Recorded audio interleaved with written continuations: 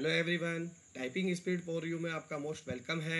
I think आपने मेरे previous lecture किए होंगे और आपको काफ़ी इंटरेस्ट आया होगा, आपको लगा होगा कि हाँ हम कुछ लोगों ने टाइपिंग सीखी है, हमें कुछ समझ में आया। अगर फिर भी कुछ प्रॉब्लम आती है तो उससे घबराइए मत, मैं आपका सोल्यूशन करूँगा। ट्राई ये करूँगा कि आपको जो भी हो सके बेस्ट सोल्यूशन मिले।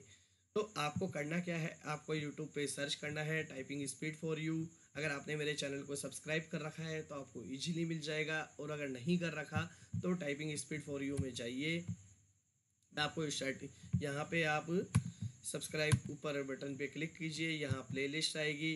आप यहाँ लर्न टाइपिंग पे क्लिक कर दीजिए।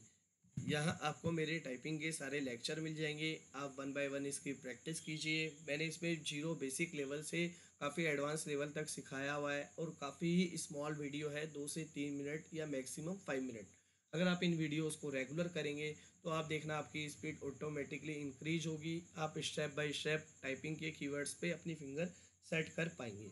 तो चलते हैं आगे। मैंने अभी तक आपको एक वेबसाइट बताई थी राटा टाइप डॉट कॉम तो आपने इसकी एक्सरसाइज की होगी।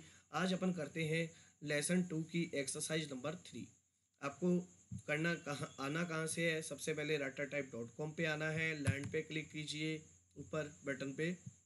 यहाँ देखिए, इस तरीके से आपकी फिंगर सेट होगी। ये इसमें ग्राफ दिया हुआ है।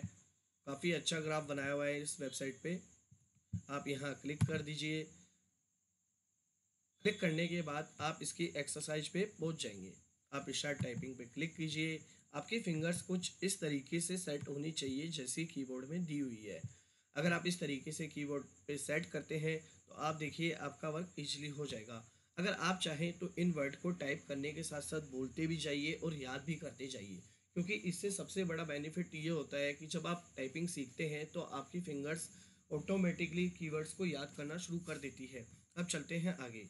G A double F H A double L H A L D S A G A H S H S S H G A double L F L A G H A S D A S H H A L F ये देखिए forty one पर पर minute मेरी speed आई है to मेरी typing errors हुई है अगर आप भी इस तरीके से रेगुलर टाइपिंग करेंगे, ये एक्चुअल स्पीड नहीं है, ये एक्चुअली प्रैक्टिस स्पीड है।